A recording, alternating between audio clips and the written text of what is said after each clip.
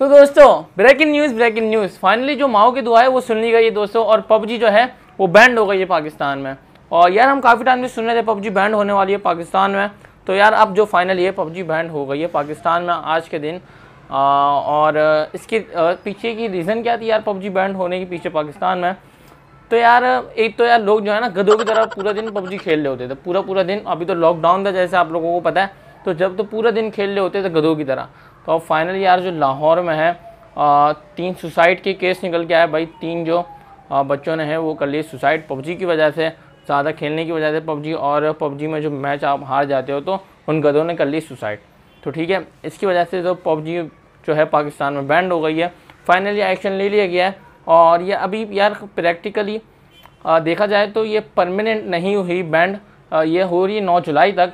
आ, तो 9 जुलाई के बाद कंफर्म करेगी पाकिस्तानी जो गवर्नमेंट है यानी पीटीए जो है वो कंफर्म करेगा कि अब ये आ, पाकिस्तान में हमेशा के लिए बैंड हो रही है कि नहीं। अभी तो फ़िलहाल के लिए 9 जुलाई तक ये जो पबजी है वो बैंड हो गई है पाकिस्तान। इसके अलावा पीटीए ने जो है सर्वर डाउन कर दिया पाकिस्तान में पबजी का जो है। तो इस वजह से पबजी जो है वो सही नहीं चलेगी आप मैच नहीं खेल पाओगे।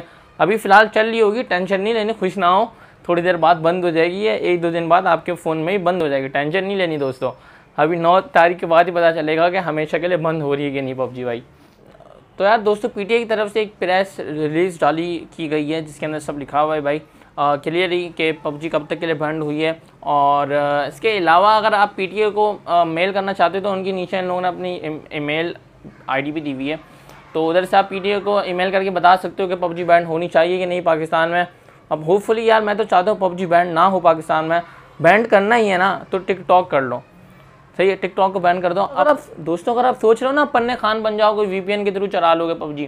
तो यार पाकिस्तान में आप लोगों को पता है इंटरनेट की जो स्पीड है वो ऐसी ही घटिया है। और वीपीएन आप चलाओगे भी तो पबजी ये सही तरीके से रन कर ही नहीं पाएगी क्योंकि जो पबजी है उसको ज़्यादा नेट रिक्वायर्ड होता है।